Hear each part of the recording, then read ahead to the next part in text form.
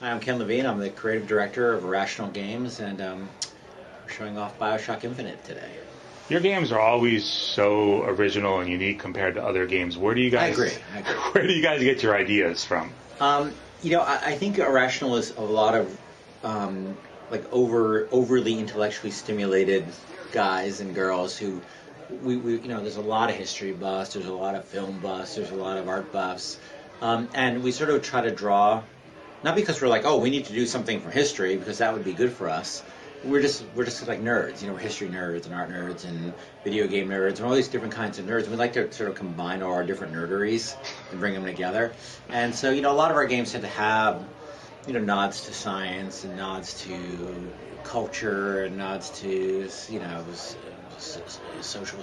I'm going to say um, no, I was about to say social studies. I mean sociology. Social social studies are like the high school version of that. Right. Um, and um, so I, I, think we just sort of you know we're a group of guys who just has this fairly broad range of interests, and we just like to bring that into into the work. So talk a little about how you brought that aspect into the new Bioshock game. Well, you know, I think that people, you know, once we sort of establish the franchise, I think people understand that a Bioshock game is going to involve aspects of, of, of history. It's going to involve aspects of science. It's going to involve aspects of culture and politics and those things. Because uh, the first game certainly had all those aspects. And I think we were looking for sort of new, uh, fertile ground in that area. Like you know, we sort of had done the you know the the Ayn Rand thing and the sort of the Art Deco thing and the sort of the, the cultural things that were going on in that period in history.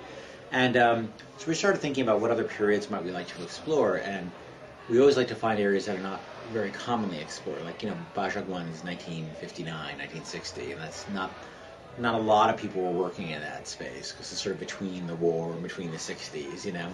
And you look at Bioshock Infinite, it's 1912, and we were just really interested in that period because there was so much going on in that period from a historical standpoint, from a cultural standpoint, from a political standpoint, and um, but there's not not a lot of people had explored it. I think we got first tuned into it by a bunch of the artists had read a book um, called Devil in the White City, which is about the 1893 um, World's Fair and what that meant for the culture of the time. And sort of launched this whole period of America finding its feet in the world and, and sort of the kind of technologies of the 20th century sort of first being uh, on display. And um, I think that was a bit of an, impetus, uh, an impetus for us. So, can you talk a little about the fictional world you've created for this game and what's going on in it?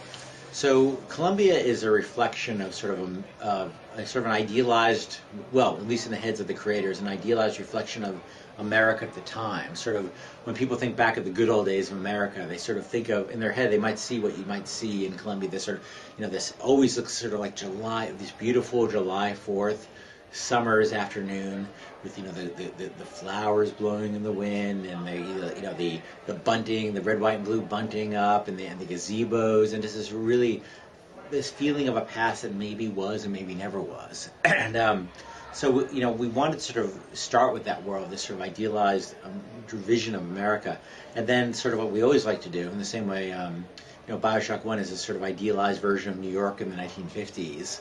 Um, you know, they start with this idealized vision of America, and then see what happens when those ideas get taken um, to beyond their even the logical extreme, and you know, and people run a little run a little far afield of, of the of this sort of vision of America and this dream of America, and then what conversely happens on the other side in the demo today you saw the kind of movement that comes out that that is, comes out as a response to that this internationalist movement this workers movement the vox populi how they start as a response to this, and how those two groups start, you know, the sort of traditionalist America America First movement and this and this internationalist group start pushing on each other, pushing on each other.